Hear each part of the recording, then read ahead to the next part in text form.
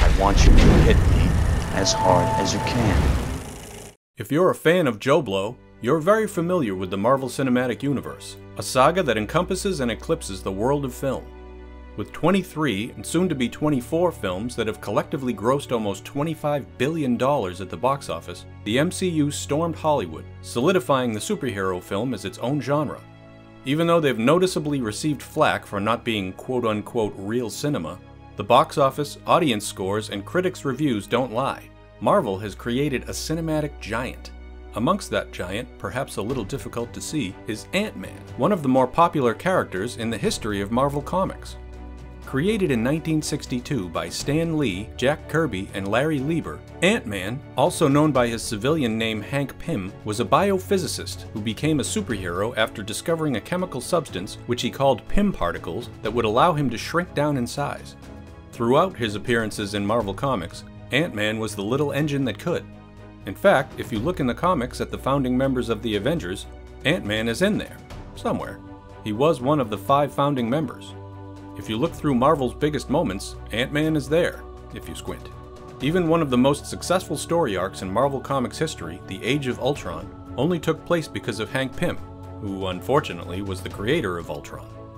So when we talk about the MCU, its impact on cinematic history, and the Avengers, the centerpiece of the franchise, perhaps the most amazing thing is that Ant-Man ever made it in.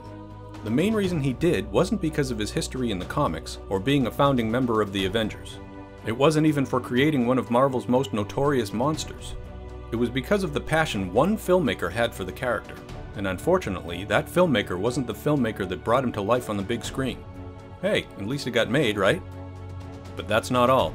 With the behind the scenes drama between a studio and its director, cast and crew dropping from the production like flies, or ants, and a decade's worth of delays and rewrites, you gotta ask yourself, what the f happened to this movie?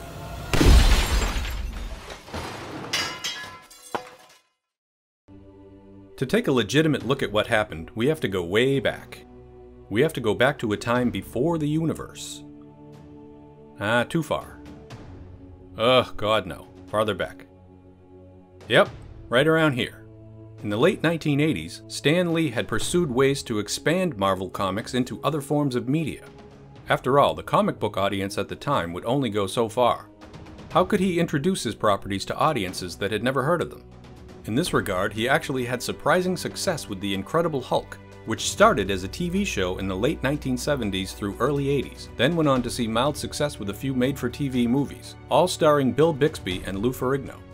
Along with this and a few other projects, Lee had become obsessed with seeing Ant-Man make it to the big screen. He loved the character beyond all reason, while others in Hollywood and the comic world alike couldn't seem to care less. Boaz Yakin, who partnered with Stan Lee to write 1989's The Punisher, starring Dolph Lundgren, was once quoted saying, He wanted an Ant-Man script in the worst way. I had been arguing against Ant-Man because, let's face it, he can shrink down, go through a keyhole, and look at secret papers in a desk drawer, and that's it. Marvel's parent company at the time, no, not Disney, briefly put Ant-Man into development but quickly gave up on the project. It wouldn't be brought up or spoken of again until the year 2000. That year, Artisan Entertainment forged a partnership with Marvel to bring many of its franchises to the big screen, with promises of making a TV series for Thor, Son of Odin, and films for the likes of Captain America, Black Panther, Deadpool, Iron Fist, and Morbius, along with a few other barely mentioned characters, like Longshot, Power Pack, and Mort the Dead Teenager? Hidden somewhere within those properties was Ant-Man. Within a year, Edgar Wright entered the picture, Edgar Wright was best known at the time for his hit British TV series Spaced, starring Simon Pegg and Nick Frost. Once he was finished with production on the series, he began taking meetings with Artisan in the hopes that he would develop an adaptation for Marvel. As a result of those meetings, he and writer Joe Cornish started developing a treatment for Ant-Man. It starred a version of the character named Scott Lang instead of Hank Pym, and its focus was meant to be drastically different from other superhero films of the time. While the genre seemed to offer quite a bit in the way of big budget action and adventure, Wright and Cornish imagined their film to be more of a crime drama, but with Wright's signature sense of humor sprinkled throughout. Artisan ultimately passed on the treatment that the two had worked up, saying they were looking for a more family friendly property than what was put to paper. Ant Man was once again dead before it had a chance to grow. In 2004, Edgar Wright actually met Kevin Feige, Now, it has to be mentioned, this was pre Disney Feige, so the MCU wasn't in existence yet. But Feige still had his hands on just about everything Marvel related in Hollywood. From X Men to Spider Man to Daredevil, Hulk, The Punisher, and even Blade Trinity, Kevin Feige was the man any filmmaker would have wanted to meet at the time if they had hoped to make a Marvel film. So when Feige asked Wright if he'd be interested in developing such a film, imagine his surprise to hear that Wright had already done just that. As it turned out, Feige and Marvel studio head Avi Arad had never even heard about Wright's Ant-Man treatment, but once they saw it, they were thrilled. They asked Wright and Cornish to begin writing a script. At around the same time, Marvel received a loan from Merrill Lynch for $525 million to begin producing major movie adaptations of 10 of their characters. Among those characters was Edgar Wright's adaptation of Ant-Man. Then came Comic-Con 2006. In one of the smaller halls in San Diego's Convention Center, not even the famous Hall H, Marvel Studios hosted their first Comic-Con panel, where they discussed the future of Marvel films. On stage along with Feige was Jon Favreau discussing the development of Iron Man, Louis Leterrier talking about The Incredible Hulk, and Edgar Wright talking about Ant-Man. These were the three films that were chosen to be represented on stage in front of the world when Marvel dropped a game changing bomb a shared cinematic universe. At the time, it was unimaginable. It was at this Comic Con that Wright laid out in interviews what direction the film was taking. It was still planned to focus on Scott Lang, but there would be moments where you would see Hank Pym in action as Ant Man in the 1960s. Then eventually, the two would cross paths. The following year, after Hot Fuzz was released, Wright and Cornish turned in their first draft of the script, focusing on Lang, Pym, Pym's daughter Hope Van Dyne, and a villain who would use an upgraded version of the Ant Man suit called the Nano Warrior. Then things got quiet. For a few years, actually. The only news reported was that revisions were being done to the script, never a good sign for a film that was announced at Comic Con. Rumors began spreading that the film was in trouble, Edgar Wright, to his credit, dismissed the rumors, saying the film was simply in a holding pattern. Since Ant-Man wasn't seen as one of the tentpole properties in the Marvel Universe, there was no need to rush it into production. Just when it seemed like interest in the film was dwindling, Stan Lee himself came to the rescue and tweeted out, I had lunch with the cool young director Edgar Wright, and as you'd imagine, we had fun discussing the tiny hero. Ant-Man is just one of the many wild treats Marvel has planned for you. For fans, a tweet of this magnitude was like Marvel itself having a mouth and speaking. The Ant-Man movie was coming, for sure. Cut to July of 2010 at San Diego Comic-Con. Four years after Edgar Wright first spoke about the film on stage, alongside discussions of Iron Man and the Incredible Hulk, both of which had come out in 2008, Marvel unveiled the cast of The Avengers, the centerpiece to all Marvel films. Feige's vision that was discussed in 2006 had come to fruition, and while audiences were ecstatic to see the big screen arrival of their favorite superhero team, Ant-Man was not involved. He wasn't even mentioned. Wright, at the time, chalked it up to the chronology of the stories. What Ant-Man was doing simply wouldn't fit into Marvel's timeline, or at least at that point. The following year, Wright and Cornish turned in a second draft of the script to Marvel. A few months after that, they turned in a third. After a rumor that Ant-Man would be referenced in Thor, which he wasn't, Edgar Wright was once again interviewed about the film at Comic Con 2011, now five years after the film was announced. In the interview, Wright once again told outlets that the film was moving along. Wright had a different vision for Ant Man than what Marvel was doing. While characters were popping up in each other's films, eventually leading to a culminating on screen moment when they team up, Wright wanted to create a film that existed on its own, that was only loosely connected to the rest of the universe. He wanted to create an in for people who weren't familiar with the other films or with the decades of comic book stories as a whole. Then, finally, at the following year's Comic Con, which was 2012, six years after the film's announcement, if you're keeping track, the first test footage was screened to an audience in Hall H. Audiences absolutely loved it. Excitement for the project was back, and months later, Marvel announced a release date for Ant Man in November of 2015. Unfortunately, even with the news of production moving forward, there were looming concerns over the project. Remember when Wright claimed that the film would only be loosely connected to the other Marvel films? Well, Marvel didn't exactly feel the same way. Now, at that point, what year are we on now? 2013? Marvel was solidified as a Hollywood juggernaut. No pun intended. A major element of their success was the universe being as connected as it was, the feeling seemed to be that a property like Ant-Man may not have held up on its own without being connected to the greater universe. Feige once again ordered another rewrite of the script. Imagine the surprise of fans months later when the sequel to the highly successful Avengers was announced. And so was its villain, Ultron. Wait, what? What did we say earlier?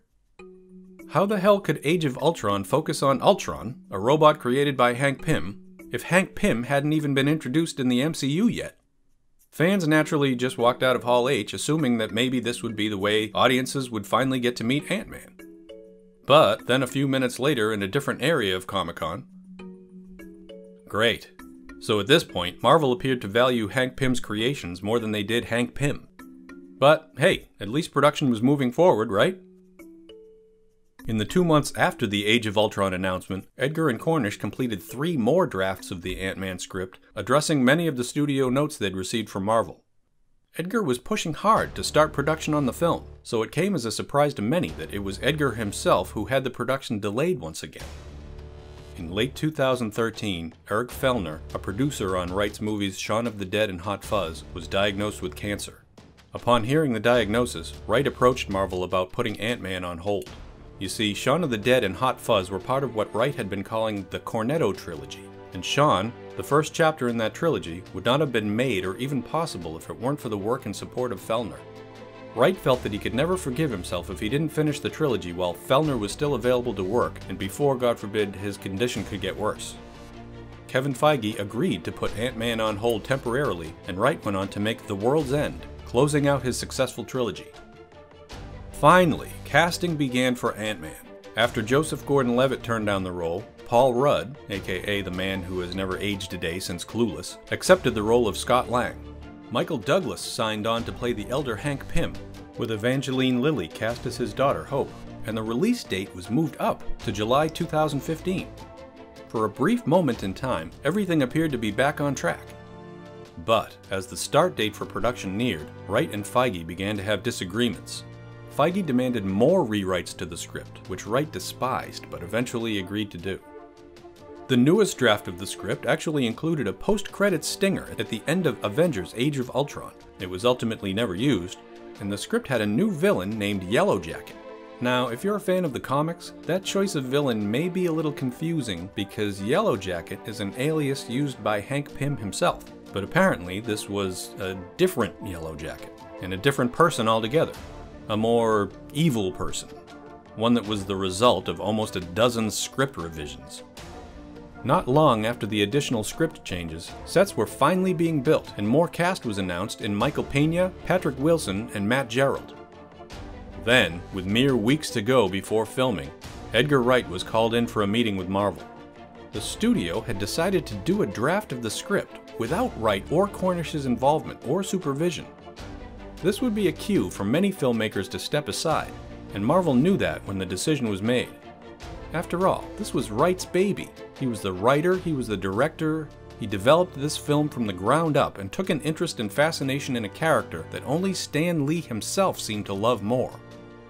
But Wright, to his credit, having been invested in this project since his original treatment was presented to Artisan 13 years earlier, decided to stick around. Unfortunately, he would have no say in who would be hired for rewrites, nor would he be permitted to oversee their work. In May of 2014, Wright received what Marvel considered to be the final script, and within 24 hours, he set up a meeting with Marvel executives to announce that he was leaving the project. Marvel informed news outlets that they and Wright had parted ways because of differences in their vision for the film.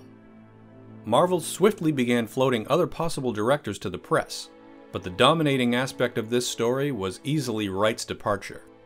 In the following days, there was an outpouring of support. Cinematographer Bill Pope and composer Steven Price both left the project. Joss Whedon, in a rare act of defiance to the people who helped make him a household name, tweeted a picture of himself holding up a Cornetto ice cream, the object of affinity in Wright's three major films, to show solidarity with the director.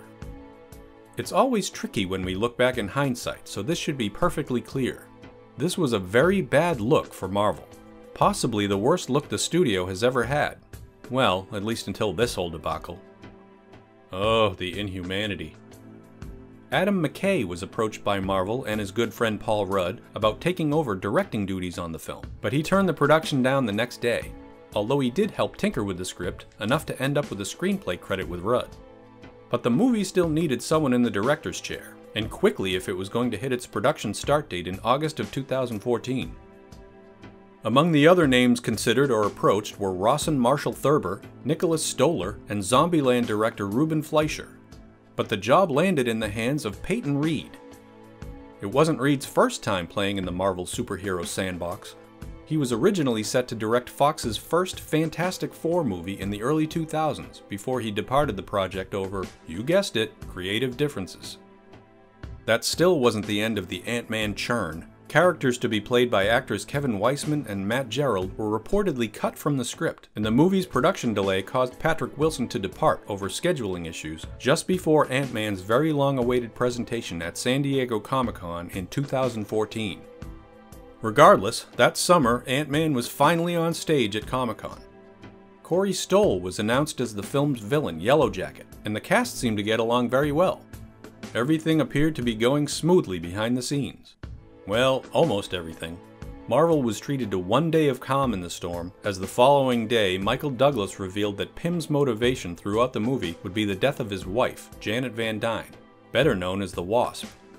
This didn't sit well with fans, as a major female hero in the Marvel Universe would seemingly be put to death, not even on screen, just to make a male character sad. Before the day was through, the hashtag Janet Van Crime was trending on Twitter, by December of that year, principal photography on Ant-Man was wrapped. The film that took Edgar Wright over a decade to develop was finished filming within four months. After excitement around the teaser and trailer releases, the film finally opened on July 17, 2015, with 57 million for its first weekend, making it the second lowest opening for a Marvel film behind only 2008's The Incredible Hulk. And let's be honest, who even counts that film? Ant-Man went on to gross 180 million in North America and 339 million at the foreign box office, bringing its worldwide total to 519 million on a reported cost of 130 million. Variety reported that the film succeeds well enough as a genial diversion and sometimes a delightful one, predicated on the rarely heeded Hollywood wisdom that less really can be more. The New York Times claimed this film is a passable piece of drone work from the ever expanding Marvel Disney colony. However, some critics actually saw it as something refreshing in the midst of so many Marvel films that followed the same formula. RogerEbert.com said the film feels handmade, not Marvel factory approved. It reminded me of Zemeckis, when Zemeckis was fun. The New Yorker described the film as a bracing, giddy delight, a neoclassical comedy more closely related to Alfred Hitchcock's To Catch a Thief and to hectically skimpy B movies than to the other members of the Marvel family. Despite the turmoil behind the scenes, the finished film still appeared to have Edgar Wright's fingerprints all over it. In January 2015, after the first teaser was released during an episode of Marvel's Peggy Carter TV series, Paul Rudd was quoted as saying that he credited Edgar Wright and Joe Cornish, and while he and Peyton Reed added a little to the script in the way of jokes and characters, that the idea, the trajectory, the goal, and the blueprint of it all was really Edgar and Joe. And to his credit, uncharacteristic for most studio heads, even Kevin Feige expressed regret over the situation. While he felt Wright wasn't as used to collaborating with the studio the way other filmmakers might have been, Feige claimed the biggest disappointment for me is just the relationship. I like Edgar very, very much, and we were very close for many, many years. At one point, Feige even admitted that the only reason Ant-Man was made was because of Edgar Wright. For those wondering what Wright thought of the final product, you'll seemingly wonder forever. Edgar Wright never saw the finished film and claimed that he never would. He never even watched the trailer. He made his reasoning quite clear in an interview with Uproxx, saying, It would kind of be like asking me, Do you want to watch your ex girlfriend have sex? Like, no, I'm good. While Wright stated that he would never be talked into badmouthing a film, he'd also never be talked into seeing it. When it all comes down to it, what was the major issue with Ant Man? Ultimately, what made it such a troubled production wasn't all the years in development, and it wasn't the rewrites, though that was a product of the major problem. It was the MCU itself. The ever growing and changing face of the Marvel Cinematic Universe was near impossible to adapt to. Each time script revisions were made, the universe grew in new and exciting ways, forcing a film that was meant to be loosely connected to adapt time and time again. So, yes, the film got made. Even though it wasn't a massive box office success by Marvel standards, it made decent money, and it brought Scott Lang into the universe for future appearances. In the end, everything seemed to work out, but as film fans, we can't help but envision what might have been.